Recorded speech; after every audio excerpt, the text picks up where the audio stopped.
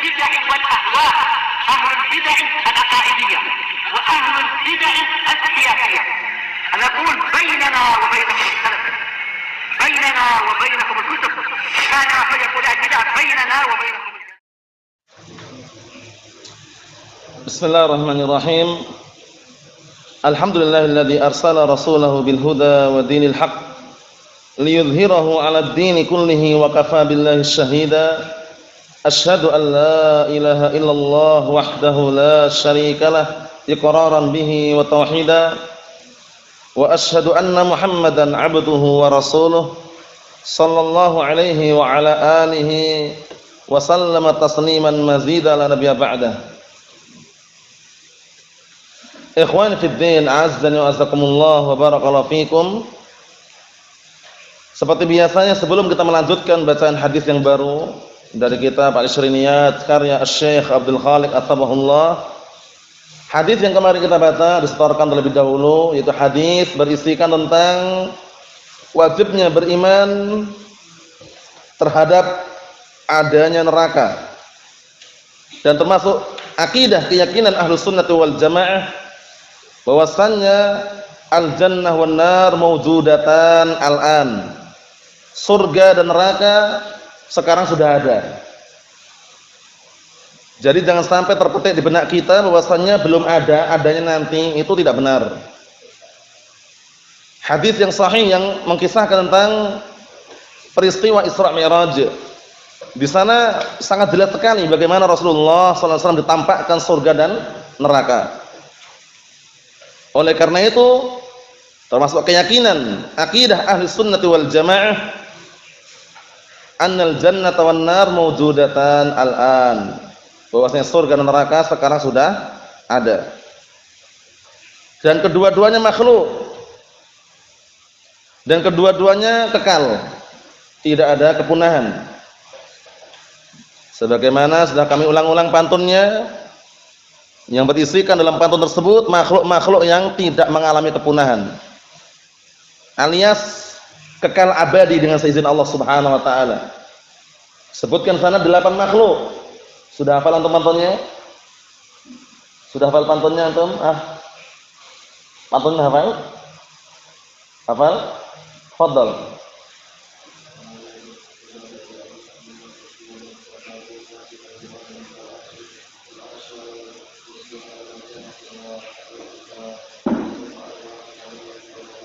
Naam.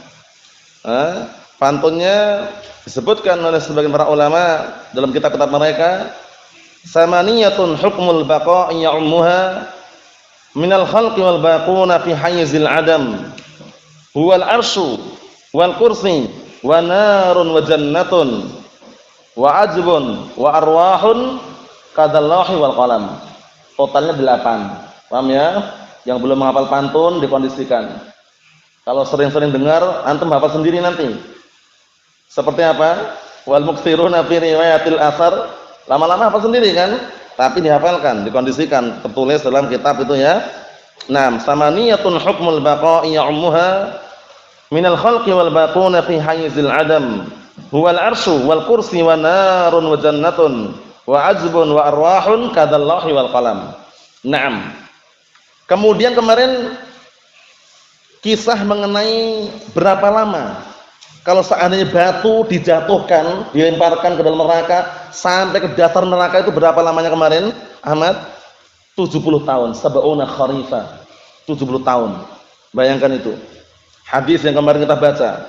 Suatu ketika Abu Hurairah duduk-duduk bersama Rasulullah atau berada bersama Rasulullah kemudian mendengar sesuatu yang jatuh, ada suaranya, debuk gitu. Paham ya? Nah, antum lihat kamusnya belum? Di kamus ada dalam kurung debuk gitu. Mari contohnya. Karena astaqtah ma'al haddah. Yaitu jatuh tapi diiringi dengan ada suara gitu. Paham ya? Kemudian Rasul tanya, "Tadruna ma hadza?" Tahukah kalian suara apa tadi? Apa tadi jatuh? Kemudian mereka mengatakan Allah wa rasuluhu a'lam. Hanya Allah dan Rasulnya lebih tahu. Akhirnya Rasulullah menjelaskan hadza hajarun rumiya bihi finnar mundu sab'ina kharifa. Itu tadi adalah batu yang dilemparkan ke dalam api neraka sejak 70 tahun yang lalu. fahuwa yahwi finnar al-an ila qa'riha. Maka dia baru sampai ke dalam neraka sampai ke dasar neraka sekarang. Berarti menunjukkan bahwasanya apa? Ngeri barakallahu fikum. Nah, nasallaha as-salamata wal afiyah. Hadisnya untuk meringkas waktu kita bagi dua. Nah, barakallahu fikum yang hafal silahkan setorkan, yang tidak hafal semampunya barakallahu fikum. Nah, dibagi dua. Yang dari sini ya, tengahnya di sini. Tafadhalu yang hafal silakan.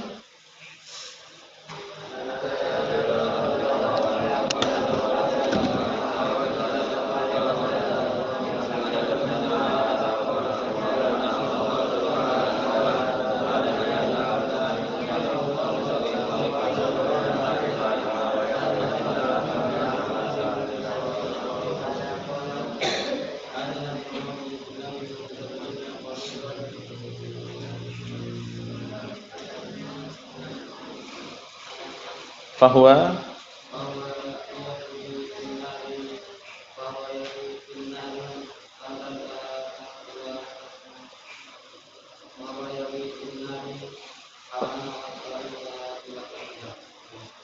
Naam ahsantum barakallahu fiik. A'anakumullah. Tafaddalu.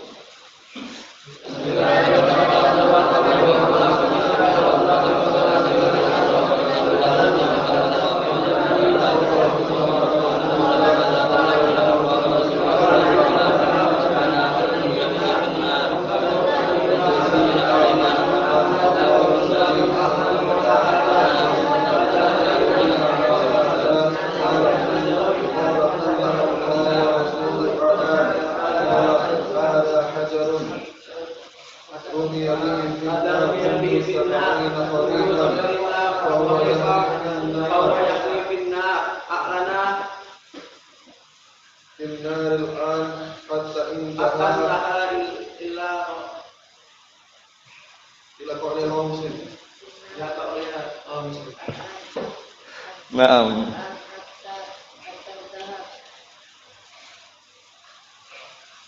Ila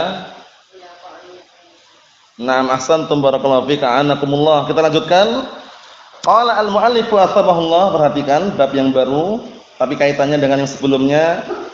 Al-jannatu wan naru la tafniyan. Surga dan neraka tidak mengalami kepunahan. Berarti kekal. Paham ya? Masukkan dalam delapan makhluk yang sudah kami sebutkan pantunnya. Iya kan? Huwal arsyu wal kursi wa narun wa jannatun.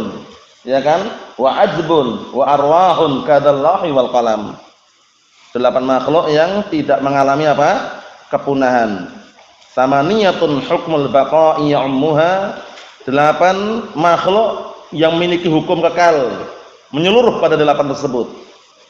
Wal baquna fi hayzil adam. Sisanya berada di lingkupan apa? kepunahan. Huwal arsyu, arsy wal kursi, kursi wa narun wa jannatun surga dan neraka wa ajbun tulang ekor wa arwahun ruh lahul mahfud wal qalam pena. Mafhum salah ya? Yang belum hafal pantunnya dikondisikan ya. Apa Muaz sudah hafal? Labas, khair insyaallah. Naam. Kita lihat di sini. Al jannatu wan nar la tafniyan. Surga dan neraka tidak mengalami kepunahan. An Abdullah bin Umar radhiyallahu anhuma Abu siapa kunyahnya Abdurrahman? Abu Abdurrahman. An Abdullah bin Umar radhiyallahu anhuma anna Rasulullah sallallahu alaihi wasallam qaal bahwasanya Rasulullah wasallam berkata, "Idza sara ahlul jannati ilal jannah wa sara ahlun nari ilan nar, utiya bil maut hatta yuj'ala bainal jannati wan nar, thumma yutbah." Thumma yunadi munadin, "Ya ahlal jannati la maut wa ya ahlan nari la maut." Fayazdadu ahlul jannati farahan ila farahihim wa yazdadu ahlun nar huznan ila huznihim. Muttafaqun alaih. Artinya, perhatikan baik-baik. Kata Rasulullah SAW apabila penduduk surga sudah menempati surganya. Maksudnya penduduk surga sudah menempati menuju surganya, tempatnya sudah. Tidak pindah-pindah lagi. Wasara ahlun nar ilan nar. Dan ketika penduduk neraka sudah menempati tempatnya itu neraka, tidak pindah-pindah lagi. Utiya bil maut, didatangkan al maut kematian. Disebutkan dalam riwayat yang lain, nah barakallahu fikum suratuhu suratu al kabsh. Paham ya? Bentuknya itu bentuk domba. Paham ya? Berbentuk domba. Nah, buktinya apa kita lihat nanti berikutnya. Kemudian didatangkan al maut, yaitu kematian. Kematian tersebut surahnya Allah taala apa? Nah barakallahu fikum, nah tampakkan dalam bentuk domba hatta yuj'ala bainal jannati wan nar. Kemudian diletakkan antara surga dan neraka. Summa yudbah kemudian sembelih. Berarti kan masuk dengan riwayat yang disebutkan oleh sebagian. Nah barakallahu fikum nam yang tertentu dalam hadis yang lain. Paham ya? Bahwasanya bahwasanya bentuknya itu kabs yaitu domba. Nah kemudian sembelih. Paham ya? Disembelih summa yunadi munadin. Kemudian ada yang menyeru Ya ahlal jannati la maut. Wahai penduduk surga, tidak ada lagi kematian. Dalam riwayat yang lain apa? Khuludun wala maut. Wahai penduduk surga, kekekalan tidak ada kematian. Kekal sudah, enggak ada mati lagi. Perhatikan ya, kekal tidak ada kematian lagi. Yang merasakan nikmat dapat nikmat terus surga, yang merasakan azab, azab terus yang dirasakan. La yamutu fiha wala yahya, enggak hidup, enggak mati. Azab yang dirasakan wal billah. Wa ya ahlan nar la maut. Kemudian juga nah barakallahu fikum disuarakan di situ, wahai penduduk neraka, la maut, tidak ada kematian lagi. Penduduk neraka pun enggak ada yang mati. Tapi apa merasakan azabnya waliyadzubillah. Ya kan la yamutu fiha wa la yahya. Enggak mati, enggak hidup, merasakan azab terus waliyadzubillah. Pamannya Rasulullah sallallahu alaihi wasallam yang mendapatkan azab yang paling ringan saja, itu pun kekal gitu loh. Paham ya? Syafaat yang Rasul berikan, berikan kepada pamannya bukan untuk mengentaskan dari azab tapi hanya memperingan saja. Paham ya? Nah, berdiri di atas bara api yang mendidih hingga otaknya mendidih. Di atas bara, bara api hingga otaknya mendidih. Paham ya? Itu bukan mengentaskan dari siksaan neraka tapi memperingan saja. Paham ya? Ngeri. Nah, kemudian setelah seru itu bagaimana? Fayazdadu ahlul jannati farahan ila farahi. Masyaallah. Penduduk surga semakin bertambah rasa bahagianya Ewa, nah di atas kebahagiaan mereka. Jadi mereka sudah bahagia, masuk surga, dapat kabar gembira lagi. Kekal gak ada kematian lagi. Masya Allah. Nah, karena kalau di surga barakallahu itu semuanya nikmat. Masing-masing penduduk surga walaupun tingkatnya berbeda-beda, itu merasa yang dia paling unggul sudah. Merasa paling tinggi walaupun ada yang lebih tinggi lagi. Jadi nggak ada penduduk surga itu yang dengki, iri, wah kok anak dapat yang rendah nggak ada. Karena dia merasa tinggi. Merasa mendapatkan kenikmatan yang luar biasa. Padahal ada yang lebih nikmat lagi di atasnya, yang kedudukan lebih tinggi. Faham? Jadi dalam surga itu enggak ada apa?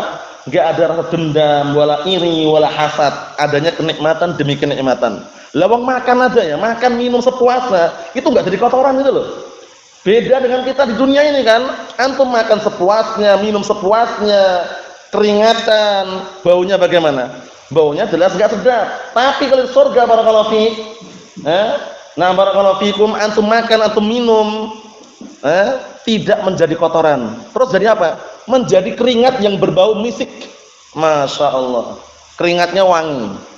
Nah, kalau antum mau lihat kitab yang paling bagus, eh, kitab rujukan mengenai indahnya surga dan ngerinya neraka, kitab apa kemarin Abdullah? Hadil arwah ila biladil afrah karya al-Imam Ibnu Qayyim al-Jauziyah rahimatullah alaihi bagus sekali itu. Antum lihat dari awal, masya Allah. Dilihat itu. Mulai bagaimana kenikmatan surga, mau makan dekat sendiri. Mau metik buah-buahan dekat sendiri. Kutufu hadaniyah dekat sendiri. Bayangkan. Kalau sekarang kita di dunia ini kan kalau antum mau makan buah beli dulu, ya enggak? Naik motor beli dulu. Surga tidak, enggak ada seperti itu. Paham ya? Dilayani dengan apa? Dengan pelayan-pelayan yang masya Allah Paham ya? Kalau antum berada di taman surga, itu bawahnya itu mengalir sungai-sungai yang indah. Ada sungai khamr, sungai madu, eh? sungai madu ada, sungai susu, eh? ada juga. Paham ya? Sungai air tawar. Luar biasa barakallahu fiik. Semoga kita termasuk penduduk surga. Naam. Kita lihat lagi yang ngeri berikutnya. Wa yazdadu ahlun nar husna ila husnihim.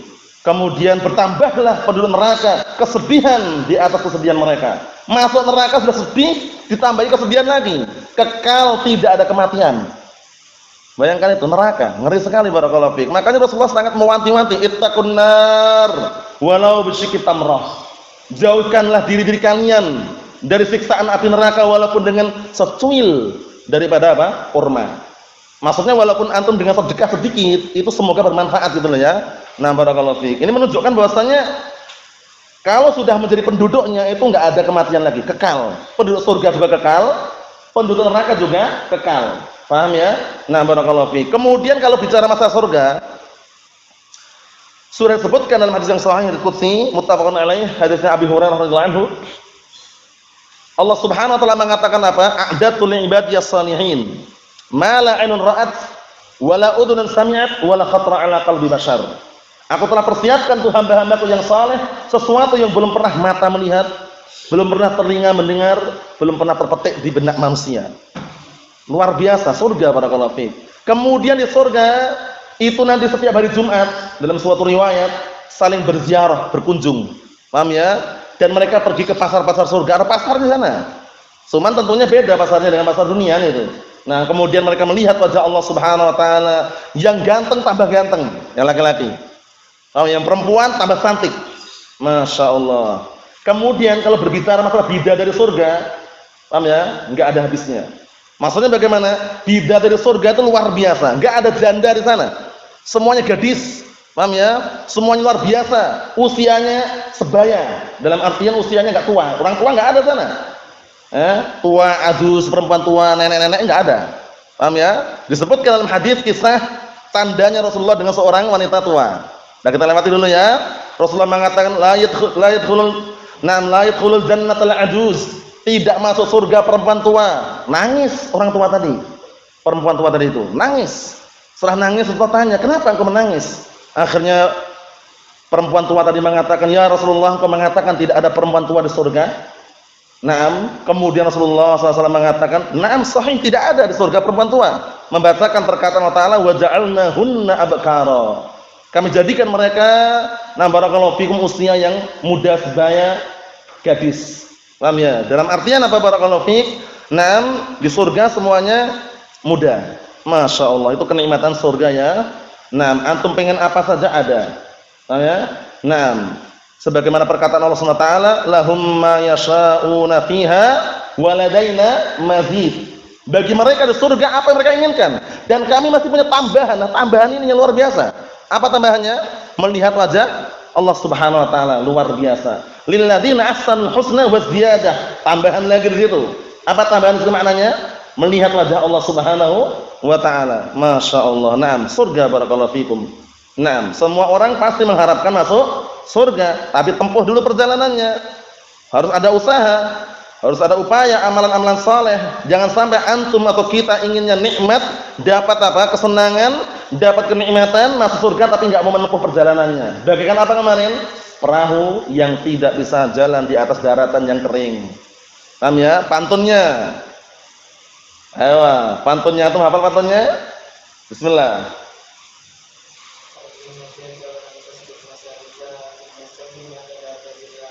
Naam ahsanta barakallahu fiik. Tarjun najata wa lam tasluk masalikaha. Inna safinata la tadri 'alal yabas. Kamu ingin sukses, ingin berhasil, ingin senang, ingin beruntung, tapi enggak mau menempuh perjalanannya. Enggak mau usaha, enggak mau beramal. Itu dipermisalkan bagaimana apa tadi? Perahu saja itu enggak bisa berjalan di atas daratan yang kering. Paham ya? Paham ya? Jalannya ada airnya. Menunjukkan bahwasanya harus ada upaya. Paham ya? Man yazra' yahsud barang siapa yang menanam dia akan memanennya nah barakallahu fi kita lihat bawahnya. Hadis yang muttafaqun alaih. Rawal bukhari wa muslim wa fi lafdin wa fi lafdin nah wa fi lafdi hadis Abi Sa'id. Dalam lafaznya hadis Abi Sa'id khuludun wala maut. Ini khuludun fala maut. Yang disebutkan tadi ya.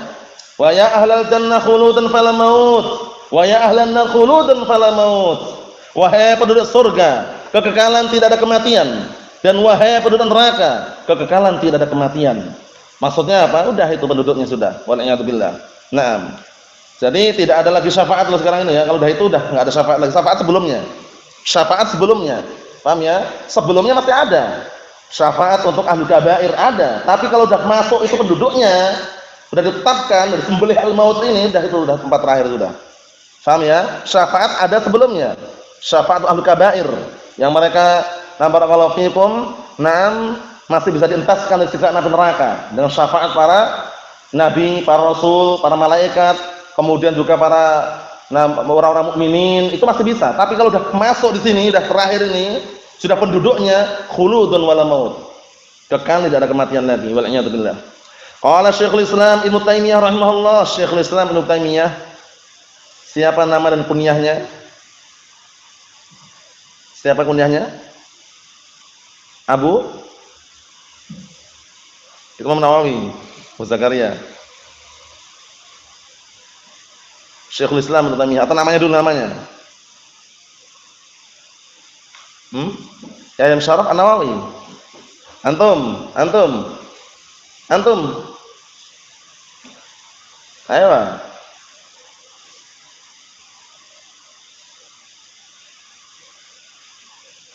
Kalau yang seperti ini agak sulit ya. Gajahnya Abroha. Hamid. Gajahnya Abroha. Biasanya kalau yang model seperti itu cepat hafal, tapi kalau nama seperti ini terulang-ulang padahal ya, labas. Nah, antum namanya Syekhul Islam siapa? Dan apa dan siapa kunyahnya?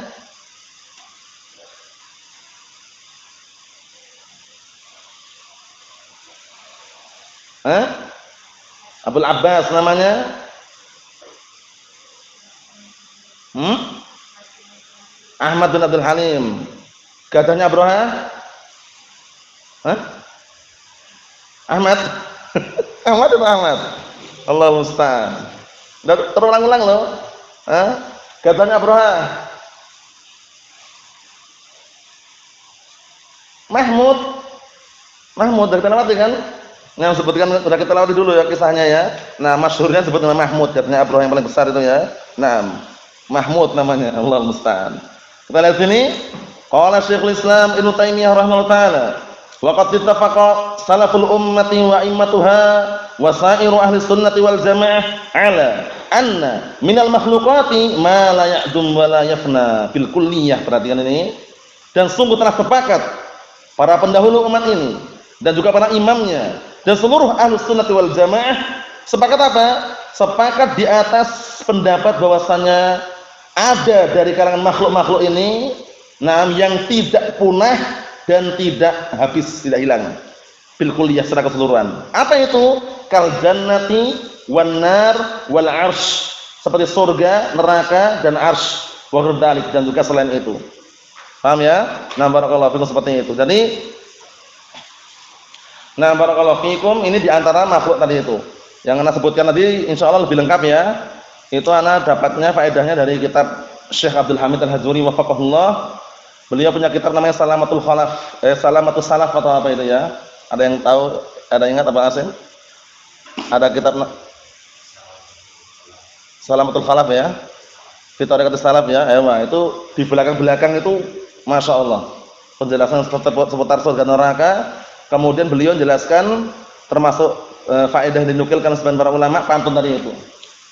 Salamatul Khalaf fi Tariqatis Salaf ayo nah itu kitabnya bagus. Satu jilid itu ya. Nah barakallahu fiik. Sebutan sana pantunnya tadi. Eh, anak ulang lagi ya. Ya tambah melekat. Ya ya hafalkan ya.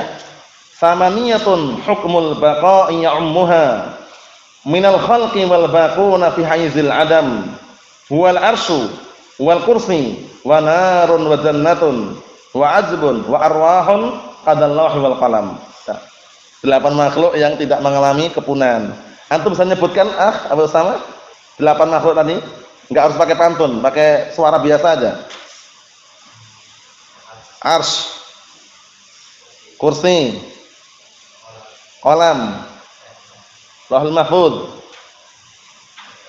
surga, neraka, tulang ekor, satu lagi, ruh. Ahsan tabarakallahu fiik. Nah, itu yang disebutkan dalam faedah tersebut. Ini yang kita ambil barakallahu fi. Jadi yang dia dihafalkan ini saja. Nah, walaupun panjang tapi mudah dihafal. Eh, barakallahu fikum yang setorkan pada pertemuan yang akan datang hadis ini ya. Wallahu a'lam bissawab. Walhamdulillahirabbil alamin.